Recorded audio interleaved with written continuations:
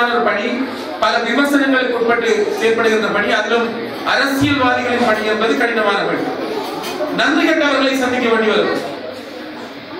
எங்களிடம் பல விதமான உதவிகளை பெற்று ஆசீர்வாதங்களை பெற்று எங்கள் மூலமாக உருவாக்கப்படுகின்றவர்கள் பதவியும் பணமும் கிடைத்து விட்டால் நன்றி கட்டு இந்த நாக்கிலே நச்சு விதத்தை விஷத்தை கொட்டுகின்ற விதத்தில் செயல்படுகிறவர்களை நான் பார்த்திருக்கிறேன்.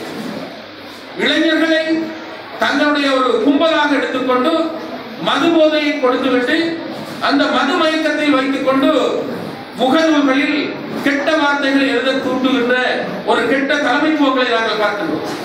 இளைஞர்களை நல்ல வழிக்கு கொண்டு செல்லலாம் கெட்ட வழிக்கு கொண்டு செல்லலாம். எங்களுடைய சொந்த தேவைகளுக்காக சுயநல அபிவிருத்திகளுக்காக இளைஞர்களுக்கு மதுசாரம் கொடுத்து அவர்களை வெறி போதையில் வைத்துக் கொண்டு தினமும் தாங்கள் நினைப்பதை எழுதச் செய்கின்ற ஒரு விதமான சமூகத்திற்கு பொருத்தமான தலைமைகள் உருவாகின்ற நிலைமை மட்டக்களப்புக்கு ஆபத்தான எனவே நான் சொல்லுகின்ற விடயம் என்னவென்றால் நாங்கள் பதவிக்கு வருகின்ற போது பதவிக்கு வர முந்தி நாங்கள் எப்படி இருந்தோம் எப்படி நடந்தோம் பதவிக்கு வந்த பிறகு எங்களுடைய மாற்றம் இருக்கிறார் இது பணத்தை கண்டுவிட்டால் ஒரு குணம் பதவியை கண்டுவிட்டால் ஒரு குணம் கூட்டத்தை கண்டுவிட்டால் ஒரு குணம் இந்த ஒலிவாங்கியை கண்டுவிட்டால் ஒரு குணம் கைதட்டலை கண்டுவிட்டால் போதை எதுகின்றது சிலருக்கு.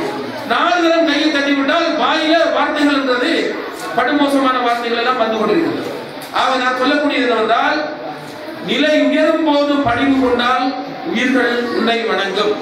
அன்று எங்களுடைய பாதுகாப்பு செயலாளராக செயலாளராக இருந்து பல்வேறுபட்ட எங்களுடைய மனிதர்கள் தமிழர்கள் அழிவதற்கு காரணமாக இருந்த கோட்டா தமிழர்களின் தோட்டா இப்போது என்ன செய்கிறார் என்று சொன்னால் ஜனாதிபதி எலெக்ஷன்ல போட்டியிட போகின்றார் மகிந்தானந்த அழுத்தமகை அவர்கள் நேற்று சொன்னார் கர்ணாவும் வியாழரும் சேர்ந்து ஒரே அணியில் தங்களுடைய அணிக்கு சேர்ந்து தமிழர்களின் வாக்குகள் எல்லாவற்றையும் வாங்கி தரப்போகின்றார் என்று இந்த டிவி புரோகிராம் அது சொல்லியிருந்தார்.